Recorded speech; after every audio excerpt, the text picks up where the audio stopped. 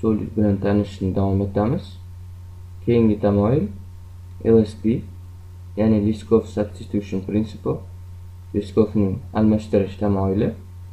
Unga ko'ra dasturdagi obyektlar ularning avlod obyektlari bilan dasturga o'zgartirish kiritilmagan holda almashtira oladigan bo'lishi kerak. Ya'ni avlod klassiga mansub bo'lgan obyekt uning ajdod klassini o'rnini bosa olishi kerak. Hech qanday o'zgartirishlarsiz. Ota klassi bajara oladigan har qanday ishni bola klassi ham bajara olishi kerak. Ushbu tamoyil ochiq yopiq tamoyilni davomchisi hisoblanadi. Bu tamoyilni tushunish uchun yana customer bilan ishlashni davom etamiz. Visual studioga o'tamiz. Faraz qilaylik dasturimizda inquiry ya'ni so'rov uchun ham chegirma hisoblamoqchimiz. Ammo so'rov bu customer emas balki vaqtinchalik narsa bo'lgani uchun uni ma'lumotlar omboriga saqlamoqchi emasmiz. Demak yangi inquiry deb nomlangan klass tuzib uni customer klassini avlodi qilib belgilaymiz. Get discount metodini override qilib chegirma kodini yozamiz. Add metodiga esa exception yozib qo'yamiz. Toki hech kim inquiry obyektini bazaga qo'shmasin. Endi main metodiga o'tamiz. Bu yerdagi kodga nazar tashlaydigan bo'lsak customer turidagi list ro'yxati tuzilgan. Customer klassiga tegishli bo'lgan va uning avlodlari hisoblangan gold customer silver customer hamda inquiry klasslari ro'yxatga qo'shilmoqda. Esingizda bo'lsa avvalgi darsda gold customer va silver customerlar uchun alohida klass tuzgan edik. Ular customer klassining avlodi hisoblanadi.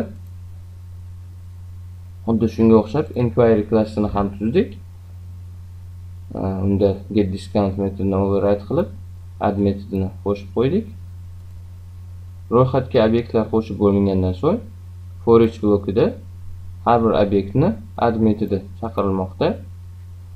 Ushbu add metodi gold va silver customerlar uchun chaqirganda ularda muammo bo'lmaydi.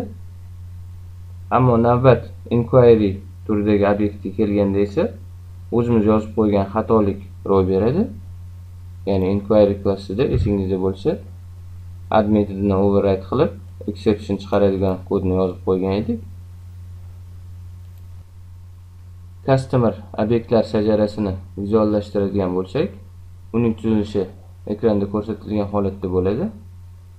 Ya'ni customer klassi gold silver hamda inquiry klasslarining ajdodi hisoblanadi. Lsp tamoyiliga ko'ra gold silver hamda inquiry klasslari customer klassini o'rnini bosa olishi kerak. Boshqa so'z bilan aytganda inquiry klassida chegirmani hisoblash metodi mavjud. Shu bilan u customerga o'xshaydi lekin u customer emas. Chunki inquiry bu so'rov. Customer esa mijoz. Demak customer klassi inquiry klassining ajdodi bo'la olmaydi. Chunki inquiry umuman boshqa turga tegishli. Endi dasturimizda lsp ga amal qilish uchun ikkita interfeys tuzamiz. Biri chegirma uchun va biri ma'lumotlar ombori uchun idiscount interfeysida faqatgina getDiscount metodi bo'ladi.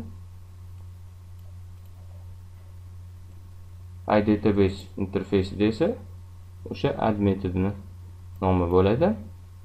Inquiry klassiga faqatgina idiscount interfeysini qo'llaymiz chunki unda bizga add metodi kerak emas. Customer klassiga esa ham idiscount ham iDatabase interfeyslarini qo'llashimiz kerak. Demak keling customer klassini lsp qoidasiga amal qilingan versiyasini ko'rib chiqamiz. Customer klassiga ikkita interfeysga amal qilishni yozib qo'ydik. Inquiry klassini ham eski versiyasini proyektdan olib tashlab yangisini qo'shib qo'yamiz.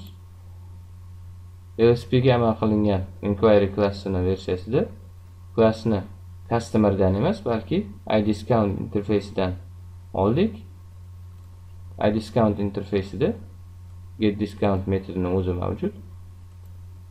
getDiscount metodini klassda qo'llab chegirma hisoblash kodini yozib qo'ydik. Ko'rib turganimizdek bu safar add metodini inquiry classida qo'llashni keragi yo'q. Main metodiga qaytadigan bo'lsak ko'rib turganimizdek inquiry klassiga mansub bo'lgan obyektni ro'yxatga qo'shayotgan kodda xatolik qaytarmoqda.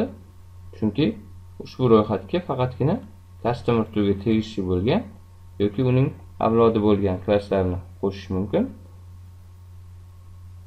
Lsp qoidasiga amal qilganimizdan so'ng esa inquiry klassi customerga aloqasi yo'qligini aniqlab oldik. Demak ushbu kod noto'g'ri hisoblanadi. Chunki inquiry klassi umuman customer klassiga tegishli emas.